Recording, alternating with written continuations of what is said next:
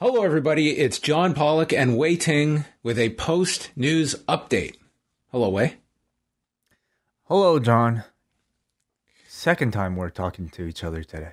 This is the second time we are talking today, but the first time you're hearing us, and you are going to get the combined version of two conversations because when we first recorded this earlier, this was before all the names had come out uh, regarding the WWE cuts from Friday. So we wanted to obviously address all of those, and then we'll go into uh, some other topics as well to be discussed. But wait, before we get into the names, uh, this is the third talent purge this year.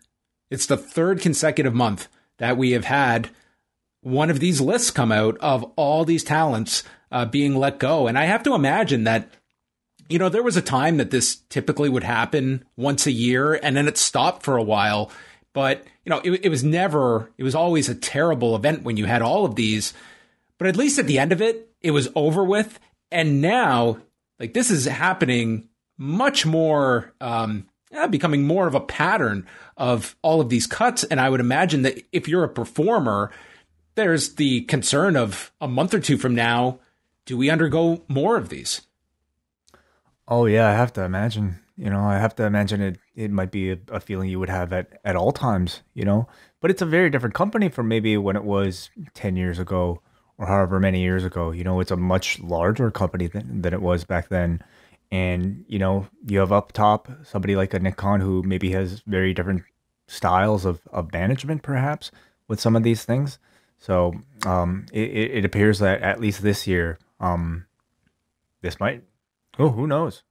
Oh, I, well, I will say, like this one feels a bit more concentrated to the NXT side of things. It is. I mean, this is like your primarily like lower level talent in NXT and 205 live that this affected. This was not main roster cuts, but I would say like this. It feels just from like a surface level, like just a different style of company than even a year ago, where you saw all of these initiatives of moving forward of ideas of different satellite groups, creating more content. And up to the present, that's been Stephanie's big talking uh, speech when she's going out there is the reason that they ended up leasing the Peacock or leasing the WWE network, sublicensing it to NBC Universal was we don't want to be in the technology space. We want to be content creation. And yet a lot of these cuts Wai, like this to me it takes an already depleted 205 live roster and lowers it. And it's to me, you're you're getting rid of a lot of talent that you would think if you're trying to expand, this this would not be the move to be making when you're lowering your numbers. Like, are a lot of these projects that we had heard of? What's the status of them now?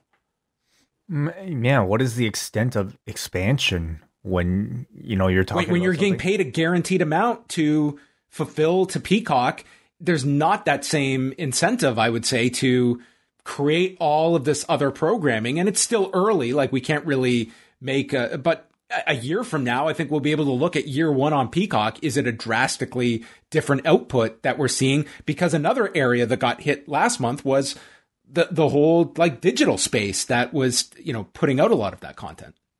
Well, I will say I, I, I'm pretty confident that they still have enough people on that roster to fill a 205 Live once a week. In fact, I mean, they have a lot of people that aren't even on 205 Live that are probably waiting to get onto TV. So, you know, it's um it's it's a very big company with a very big roster and a lot of people looking for that airtime. Um, you know, the this particular crop of people, I you know, it's internally you'd have to ask them why they chose this specific group, but maybe you know a combination of uh, numbers that just kind of added up to make the right choices for them. So the names uh, that were reported today, um, and most of these coming courtesy of uh, PWInsider.com and Fightful.com. Breezango, Tyler Breeze, and Fandango. With uh, Fandango has been part of the company for 15 years since he signed on, and was way back in the Deep South days before going to FCW, was on that NXT season, and then got the change over to Fandango in 2013. Tony Nese, Ariya Daivari, and August Grey, all from 205 Live, as is uh, Curt Stallion. Ever-Rise, who I thought it'd become like these were guys that tried to maximize any any on on screen time that they had to try and just I, I mean all of these you, you feel bad for, but to me, I always look at ones like that where the guys that have so little but try to maximize the most of what they've got. Those are the ones to me that if I'm a talent is so deflating because I'm told one thing and try to make something happen for myself that at the end of the day doesn't hold a ton of weight when it comes to these decisions. Uh, the Bollywood I, I, boys, sorry. Yeah, I mean, well, just on that note, like I, I, have to say they are one of the, the the people on this list that surprised me the most because they just appeared on NXT. They have been appearing regularly on NXT and seem to be on some somewhat of an upward trajectory in their careers, which I can't necessarily say for a lot of the other people on this list. So, well, Breezango you know, just I mean, they just went over Imperium and did that angle last week where they they put the flag over top of them. I mean, I don't think any of this is connected strategically. I think this is just like we're tearing band-aids off and ongoing storylines be damned. It was I I just don't think like that like it does feel very disjointed when you're shooting an angle one week and the next week they're gone. Um, the Bollywood Boyz, as I mentioned, Marina Shafir, who we haven't seen in a while, Arturo Ruas, and Killian Dain. Hmm. Yeah. Yeah. So, um, some of these other names are, are, are somewhat surprising too, because I mean, many of them didn't even really get a chance to be on NXT proper uh, much less the main roster. And you know, somebody like, for instance, an Arturo Ruas or an August Grey, I definitely think you see a lot of potential in some of those. Um, you know, other guys like a Ariya Daivari or Tony Nese, I mean, seem to be, uh, unfortunately, a sort of lifer stranded on that 205 Live show.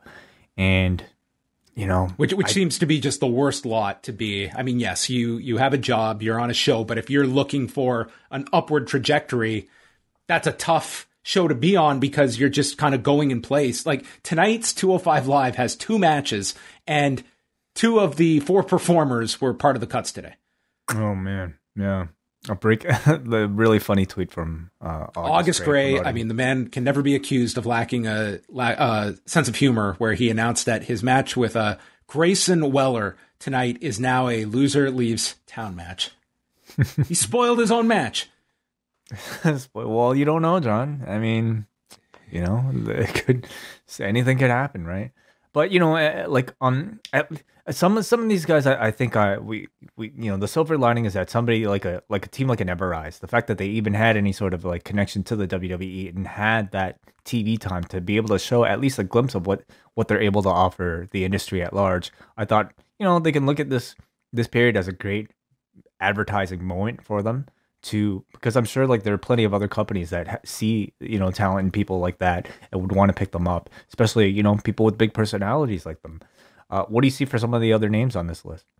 I think it's a tough way because it's not just you're looking at you know these names, but we're talking about two previous cycles of talent that had those no compete clauses that companies are looking at, and when you've got, you know, I, I think it, it's really going to depend. Like, um, the fact that uh, MLW was just able to pick up uh, EJ Nduka, like that to me, like MLW can go after a performer like that, and I I think they really kind of see the value in we're not going to overspend maybe for the giant names out there, but we can see you know future stars and maybe looks at a list like this and some people stand out, but you know there's a lot of people that are on the outside of WWE that were previously working for them. And companies can only take so many people in. We're still talking about companies that are coming off a pandemic. Uh, you know, some I'm sure will be, will have interest from national promotions, but I can see a lot like that will maybe have to go back to the independents or reassess things. Like there's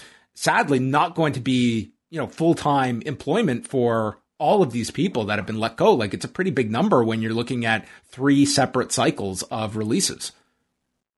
Yeah, I mean, it almost seems like it's sort of the opposite of maybe what we've seen before with you know the WWE and maybe all these other companies trying to hoard and really pillage the independent scene with all this talent. Now, much of it getting released back, you know, into the wild, maybe so we could say. Um, I, I I think you know I, I I am hopeful that much of the people on this roster will be able to kind of find a new identity for themselves when they're outside of this system that you know let's be honest for a lot of them weren't necessarily i can't imagine creatively creatively fulfilling Um, you know, being in the a part of the independence or being outside of the company obviously comes with a lot of, um, you know, uncertainty financially, of course, but it also comes with, I think, a great deal of uh, creative freedom um, that I, I hope to see a lot of them explore. Yeah, I think that's always, you know, it's it it's always difficult, but you know, this is where you, you see people that are really put to the test. Like this is either going to be something that's really deflating that it's your whole dream is to get to WWE or it's okay, it's life after WWE and now I'm just going to move on to the next thing. Like you saw Killian Dain immediately put out a thing and stating, you know, I was I was angry. Interesting to note Killian Dain noted at the end of his statement see you in 90 days as opposed to 30 that we usually uh, associate with NXT. So it might be um, d- different periods for different different talent. Well, somebody like Breeze and Fandango, I imagine they they would be um, on similar main roster types of contracts, wouldn't you think? Unless they had been, you know, re- restructured over this time. I mean, they've been down in NXT for two years at this point. So yeah, that's a good question. Uh, I do, do you see Breeze and Fandango kind of going out there as, as a pair together? I think that's a that's a really good question. I mean, I think it largely depends what sort what sort of company they, they might join with. They are strong as a pairing, but I have to be honest in like saying that I I'm kind of curious to see like somebody like a Fandango as a single star without that gimmick, you know, to see what he's capable of. But I think to start they should be associated. I mean, you know, they're probably stronger together, especially with so many free agents that are out there now. Um, you know, the, the Bollywood Boyz, I, I think those guys, especially if you followed a lot of them, like those guys got into fantastic shape over the past year.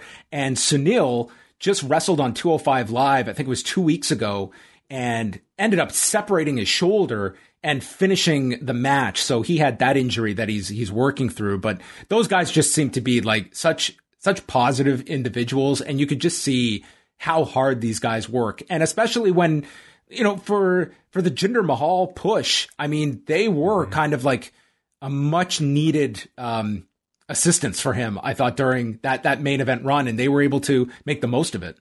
Oh, they, I thought they were a tremendous addition to that act, and I don't think that act like would have been, um, you know, as complete. Uh, we we could say with without the two of them. I thought it was kind of perfect casting. But you know, you look at these two guys, and I don't know if, man, like they had any realistic, I think, thought that they would achieve as much as they had being in this company for as long as they have. You know, be, being able to be in a Raw or a SmackDown main event with with the WWE champion, being at a WrestleMania even. So I, I, definitely think they could be proud of the run that they've had. Um, and you know, they at least to a certain section of the audience, I think have at least somewhat made a name for themselves. So you know, to to a certain demographic, I think you know they they certainly hold a lot of like um, connection that you, uh, might you would assume would be sought after in the wrestling industry. Yeah, the final point I'll say is that I think the one benefit of this group is the timing. That now so many companies are opening up, and even if maybe you're like some of these performers, maybe they're going to get an offer to go do a, a dark or a dark dark elevation, and not necessarily immediately get a deal somewhere. But you have all these other independents that are opening up, and it seems that there is going to be more opportunities if you're willing to go to those places that at least timing wise all these independents i think they're just going to be looking for people that have some kind of recognition factor and, and that's what the this list does does entail. The next set of gcw shows will be really interesting especially like if matt cardona is any indication of what sort of like rebrand might be available for people um i i'd be curious to see any of these people in a promotion like that all right. Well, those are uh, some thoughts on today's unfortunate cuts. And now we are going to resume our previous conversation about all the other news going down on Friday. Hello, everybody. It's a post news update. I'm John Pollock alongside Wai Ting. How are you, Wei? I'm doing all right, John. You know, a bit weird actually having this kind of extended period of um not doing podcasts with It's all over the place. I feel we've gone too long to be honest. It's, yeah, uh, it's, it's, it's odd to go more than a day, but you know, two days, maybe even three days if we didn't have this. Yeah. Well, I mean, we are we are coming off what was I will call the the surprising success of the year for us. You and I just talking. I'm amazed by this. I was abs there's not too many things that shocked me. I definitely was stunned by the amount of feedback to our show on Tuesday. As was I. And again, we want to thank all of our patrons who took the time to listen to it. And not just that, but also told us how much they enjoyed it. It was probably like the most feedback we received for a podcast. Um, and it was also one that a real eye opener that we're, we're doing way too much. we could really streamline this to a very simple degree. oh man, we struggle all the time thinking, oh, what are we going to review? What are we going to talk about? Like, you know, like God. all this stuff. What do people actually care about? Turns out they can actually use a little bit of just us talking about nothing. So, well, we really appreciate it, and we'll definitely look to do more. Yes, yes. We know it's a it's a balancing act. People would get tired of us too, so we got to be got to be smart in all of this. Uh, but thank you, thank you everybody uh, that checked out that show. It is up for Post Wrestling Cafe members. I want to mention off the top that if you're listening to this or watching this on Friday, we're not doing our usual Friday night show. Instead, we'll be live Saturday night, 10 15 p.m. Eastern, to review SmackDown, to review Saturday Night Dynamite, and take all of your phone calls. So Saturday night and the next week we're back to normal Monday, Wednesday, Friday with the usual shows. Again, that's Saturday, 10 15 p.m. Eastern for all Post Wrestling Cafe members, postwrestlingcafe.com.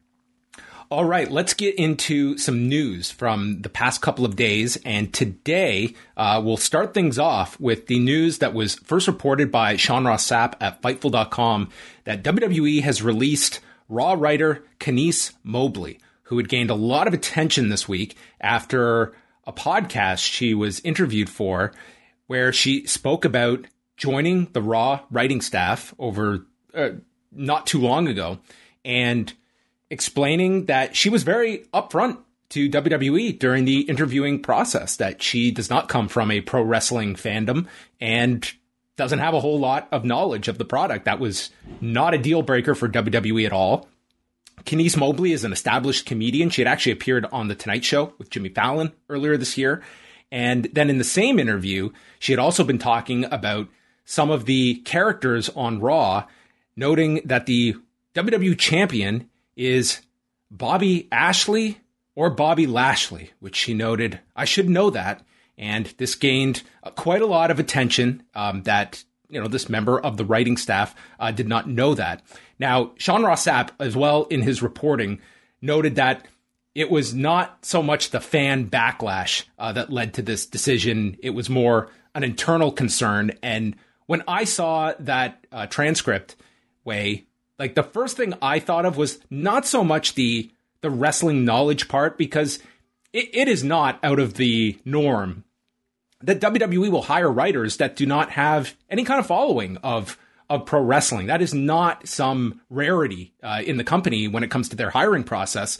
And I actually was speaking with someone today who told me like there have been people with no wrestling backgrounds that have come into the system, learned it, and become very accomplished writers. And on the flip side, they have brought in super fans before as writers and they have not worked out. So it's always a balance. You want different perspectives. Sometimes uh, not coming in with the traditional thoughts and background of pro wrestling, like WWE looks at that at times as a positive. To me, what the big alarm was was the fact she did this interview. That I don't think the WWE wants its writers out there doing interviews and very much want their writers to be anonymous. So that is where I thought that the issue would come out of not so much the fact that here's someone with a limited knowledge base. It's the fact that she was out there doing an interview, and that just goes to it, it's a weird world in WWE that you it's it's not exactly the same rules that might apply for another television show where she might think it's no big deal to go out and, and do a podcast. Yeah. Well, um, you know, I've listened to the podcast, um, and uh, it to me sounded like somebody. By the way, everybody, this podcast came out on June the sixth. I think um, a lot of the reports were perhaps giving the assumption that this was a podcast that was conducted this week. No, it was conducted on June the sixth when I guess she had recently received her job, and it kind of read to me like, or at least sounded to me like, um, somebody going on a friend's show. I think she was scheduled to join this podcast anyway. It's called the Asian Not Asian podcast, and as far as I know, it's like sort of a comedians type of thing. And I think she just happened to get a job, you know, and expressed to her friend, hey, just, or at least the friend was like, hey, I heard you just got a new job with the WWE. And then the the conversation that kind of followed it seemed to me almost like, you know, like John, you got a job at Baskin Robbins. Um, and then John, you proceeding to be like, yeah, man, I got a job at Baskin Robbins. It's crazy. Like, you know, like can't name any of the flavors, can't name the best selling flavor, but you know, it's like people don't see me and don't really think of Baskin Robbins, you know, but it the thing is, what I'm trying to say is there was a clear I don't blame her whatsoever for taking this job. I don't blame her whatsoever for um, you know. She was up front. I mean, there there was nothing she was not deceptive she or lied. She said that. flat out, "This is hey, this so, is my background." And WWE hired her. I mean, th- from that sort that aspect of things, I I don't think any criticism can be warranted. The the problem comes when you're talking about a position that to the outside world when there's already plenty of problems with the writing on this show that is being criticized by the audience, you are being put in a position where you're put, putting words into the mouths of people who have worked their lives, their entire lives to get to these positions. And that when to, to be able to be hired and to be able to put into that position, no matter what the position may be, she may simply be there to like play ad libs and like fill in the blank, you know, to like in this particular situation. Nonetheless, to, I don't think she was aware that she was broadcasting to the audience that she was. I think she was tell, telling this to a friend, and and and that that probably showed a great deal of like you know lack of lack of foresight into throwing this out into the world. But the impression that I think you give to a wrestling fan who is reading this is that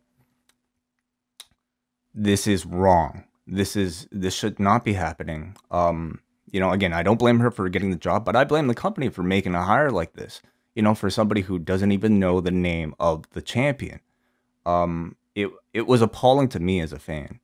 Um, but you know, of course, I feel terrible that a person lost their job. You know, um, I, but per- personally, I think it calls more attention to like the hiring process and maybe the lack of transparency about exactly like mm, what exactly is the harm in WWE saying, okay, we want to hire a bunch of different people from different backgrounds because they offer this that a typical wrestling fan does not offer. And I don't even say that more so for me as a fan. I say that more so for the talent that has to work with these people because I mean there are reports that um talent are concerned about people like this writing for them.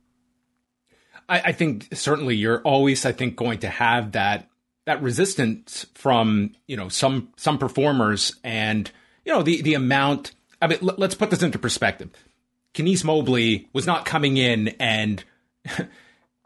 putting together next year's WrestleMania program. Okay. She was, you know, but nonetheless, she is going to be tasked with things like writing promos and especially at a lower level where talent is not going to have the same clout to go around or above and you know you you are a performer that maybe is not has not met this person yet and you're this is your first impression of them and yeah I've been working for 10 15 years and here I am in the biggest wrestling company in the world and this person has has uh, some influence over over where my my standing is if I'm if I'm paired w- with them. And again, that's not to say that you know you just um, dismiss someone. Like again, I think you're always looking for different perspectives and voices, and I think that's why this release is going to be very polarizing to some because this is a woman of color that that are those are elements that are very underrepresented in professional wrestling. So I think people want to be seeing women of color having positions like this. So this this release, this news is going to be met with with some criticism. But I think it is also uh, goes. Well, well, let me just just stop. That is absolutely important. I think though there needs to be a bar of knowing certain things. You know, like when you're applying for the job, when you're being hired, no matter I think what what what perspective you're you're you're tasked to bring on like, to me, it's like if somebody didn't know who we were, didn't know our names, and we were looking to hire them as a writer, um, I don't care what sort of perspective they have to offer. Like, it wouldn't happen. No, no, that's you know, and that I, I think has to be part of that I- entire d- discussion point uh, to this because we're And- big deals.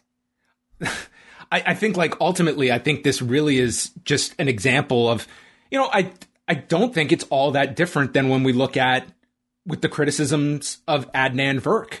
It's like Adnan Virk came in there with, I'm sure came in with the right attitude, but this is somebody that was learning on the fly, and that became very evident. Now that is a front facing individual that's going to be on screen for you. This is someone behind the scenes that is learning on the fly, but they're not all that d- disconnected. And this is like the, this is a gigantic uh, company, and that's that, that's going to come with it, like a lot that you are tasked with, and the you know. Again, you you look at. I'm sure there have been examples of people that have come in with no wrestling background and they've succeeded in that system, and others that that have not. So it's it's it goes to you know what their past experiences have been like and and wanting to go in different directions. It does not surprise me that WWE I mean that used to be the joke online is when some of these job postings came up it would actually say no prior wrestling experience required and people would point to that like there were times WWE actively went for people that m- maybe did not come in with a historical reference point of pro wrestling believing we are we are doing something completely different than the wrestling that you might have been accustomed to if you're a fan of multiple decades since childhood. Sure. Yeah. And, you know, internally, I mean, if they've kind of kept that edict up until this point, maybe something is working.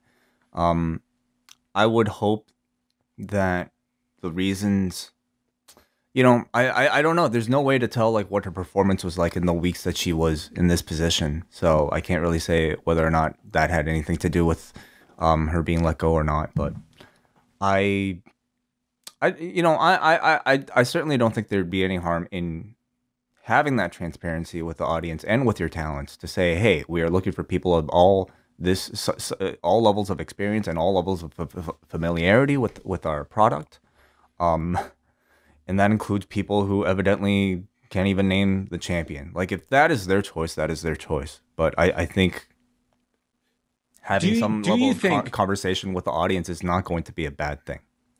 Do you think that it would at all benefit WWE not not necessarily having somebody that's a recent hire being put out there, but having some presence of your creative staff that is like your your head writer that can go out and do these interviews that could add mm-hmm. a lot more to the process. Because I think one of the issues that WWE creative faces is that it's largely a committee of faceless, nameless individuals that the audience just pelts their criticism at, and they have no chance to explain stories, explain the process. Now, I know everything I'm saying is so counter to the Vince McMahon philosophy of not wanting any spotlight on that type of thing, but the creative process is something that gets maligned pretty consistently, and it's not just a fan thing. And that's why I go to the feedback to fans like the WWE does not put a ton of stock in just fan complaints,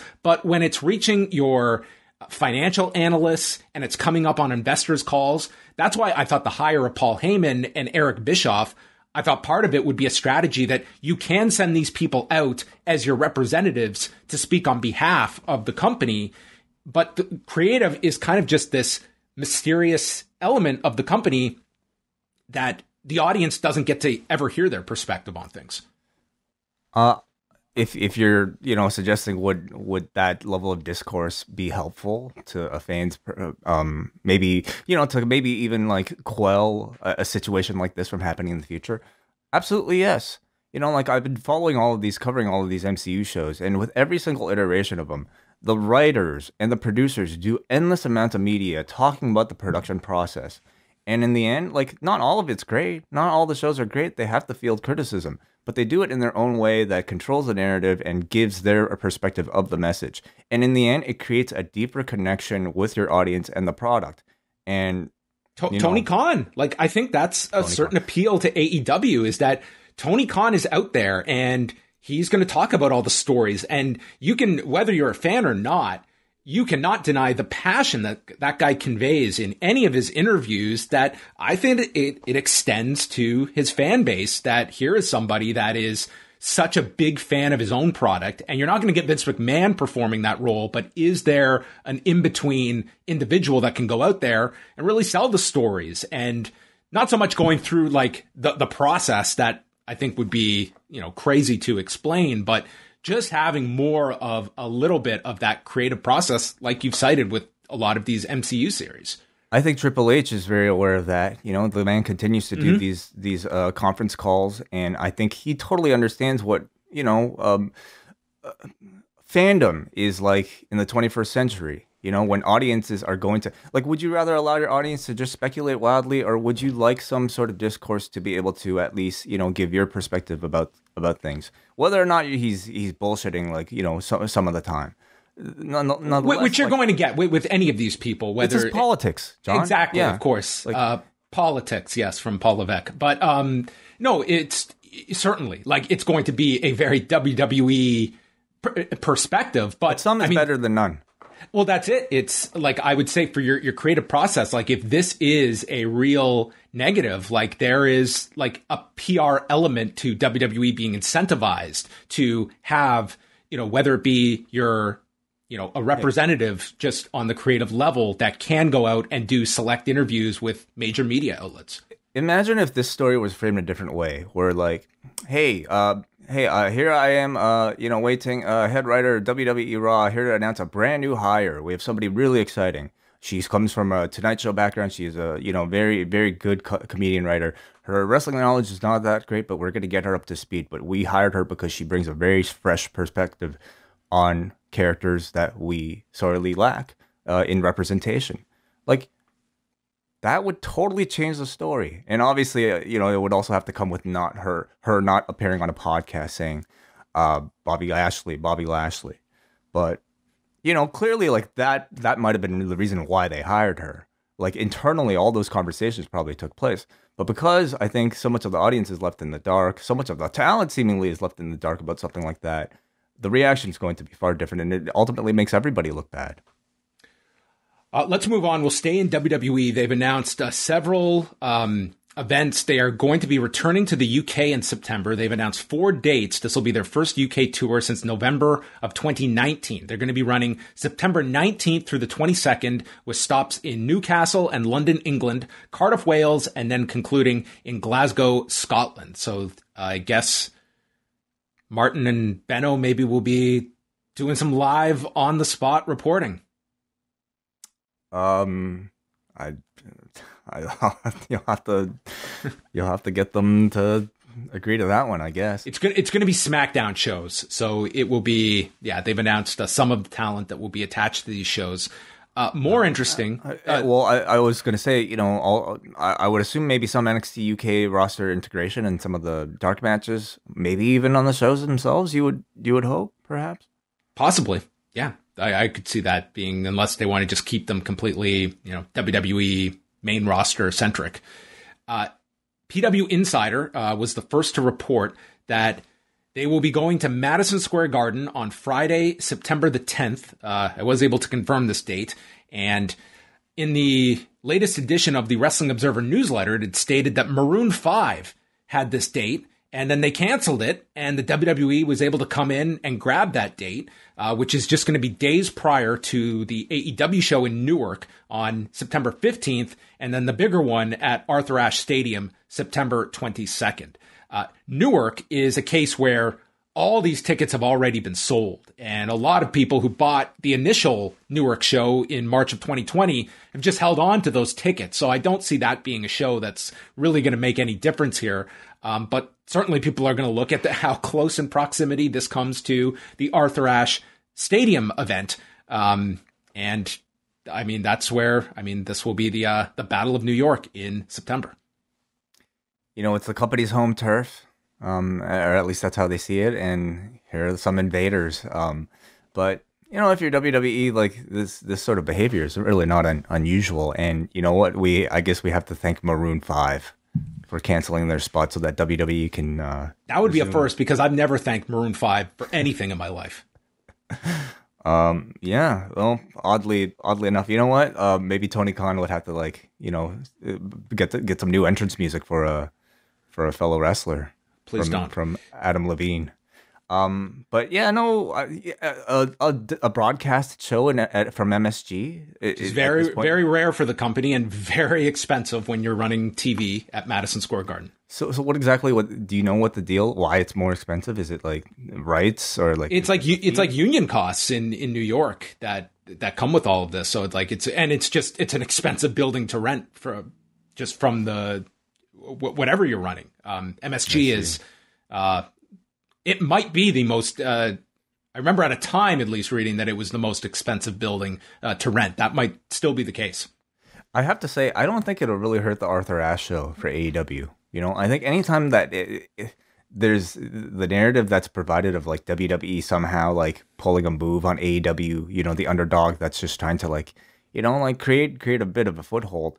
I think it it'll create more um, motivation for people to you know show that AEW can be successful running two two shows back to back in the in a near vicinity. So I think it I, I don't think I think there'll be different audiences if anything. I, I, see both shows doing very well. WWE's first show back at the Garden for TV. Um, like who knows like what talent they'll have on SmackDown by that point.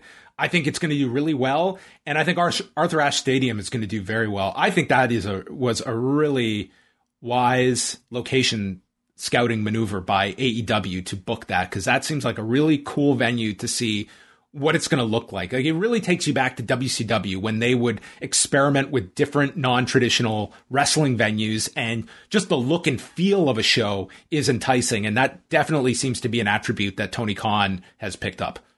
I wonder if it'll be open air that day. Well, it's it's got a retractable roof, so based on the weather, they they have that option. Mm, interesting. So, something to watch. Um, a few days ago, Melissa Coates passed away. Uh, she was someone, actually a native of Thunder Bay, Ontario, uh, that had grown up. She was an aspiring tennis player and then got significantly involved in the world of bodybuilding, uh, participating in many contests in the province and then going professional uh, around 1995 and then uprooted herself from Canada and went to Los Angeles. And she ended her bodybuilding career in 1999. This was after competing in uh, Miss Olympia, Miss International, and got involved in professional wrestling, training at Killer Kowalski School. Uh, spent some time in UPW, which was uh, Rick Bassman's group at the uh, Ultimate University there. And then she worked in OVW Although when she first went there, it's when WWF did have the relationship with OVW, but she did not have a developmental deal at that point. And I don't know if she eventually got one when she went to, she would go to Deep South as well, which was another uh, developmental group. And then uh, got involved after leaving Deep South. She kind of just went around the independents for a long time, didn't really get a big break in pro wrestling. She made an appearance on a, on a WWE pay per view in 2005 and then became the super genie with Sabu. And that was what she had been doing for the last, um, since 2014, and then had a really unfortunate uh, health scare last year where she had contracted these blood clots in her leg, and it led to the amputation of her left leg uh, above the knee. And was you know in a wheelchair after there had been um, some photos afterwards, and you know, just I'm sure the last uh, six months, eight months ha- had been a, a, very, very difficult uh, period for her after after going through all of that. Uh, just you know, very sad news. Not someone that had a large um, break in professional wrestling, but someone who had, you know, you could just see from some of the reactions from people. She had wrestled. Uh, this was interesting. Wrestled Bayley in Bayley's like first ever match, and it just seemed like she, you know, kept in touch with a lot of people that she worked with in the wrestling industry. Seemed to be a very nice individual, but uh, some, someone that I never interacted with. But it was uh, an unfortunate story this past week.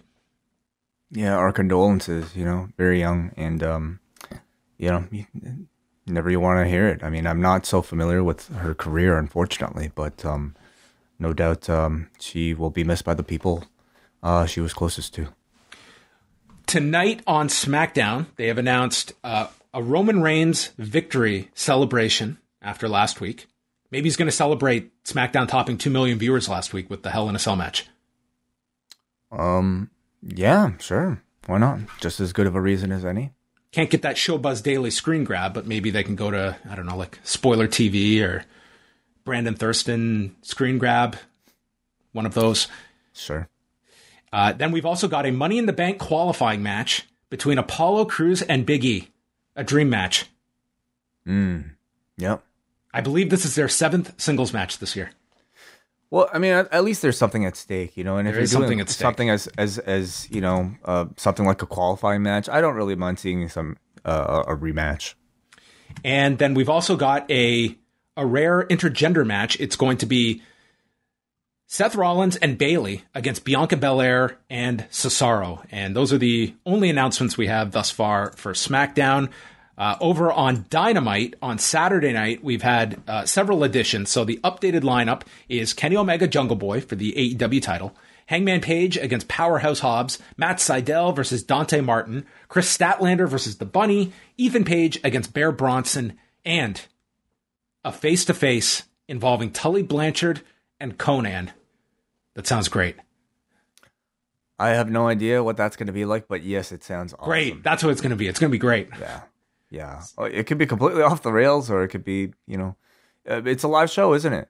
It's a live show Saturday night, and then they'll be live again on Wednesday for their last show at Daily's Place, at least for for the time being. So, yeah, it'll be a quick turnaround for Dynamite, and they've already got several announcements for next Wednesday's show.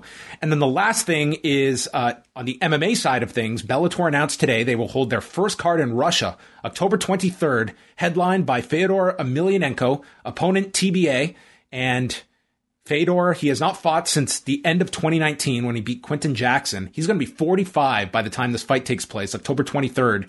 And I, he had COVID earlier this year and was hospitalized as a result of it. So, I mean, it sounded like he had it on the, the worst end. Um, but he is coming back for another fight. This will be on Showtime, and they made that announcement today. But a a pretty busy weekend. We've got PFL and Bellator tonight. Which, do you know why this is going to be historic? Why's that? we are going to have a PFL report on the site from Eric Marcotte. Ooh, Awesome. We sat down, we put our brains together. We're like, you know what? This PFL card, I think, is bigger than the Bellator one. So we are going to get PFL coverage tonight on the site uh, with Kayla Harrison fighting.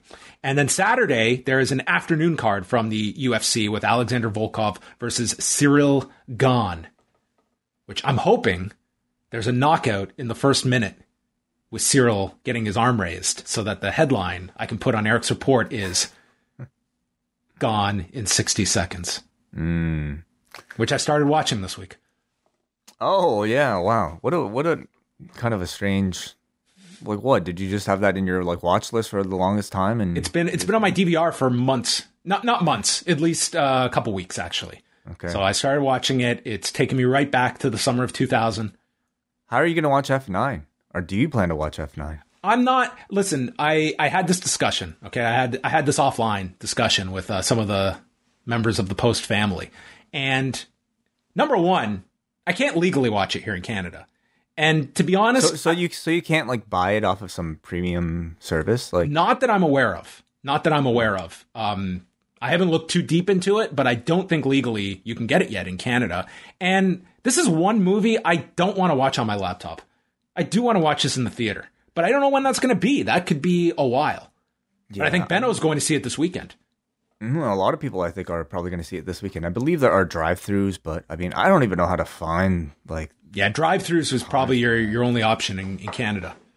yeah like a bunch of drive-ins are advertised, but like yeah, fortunately I don't really see the premium steps. Although I'm sure uh somebody you don't you guys don't need to send me a link or anything. I'm okay. I've never gone to a drive-in in my life.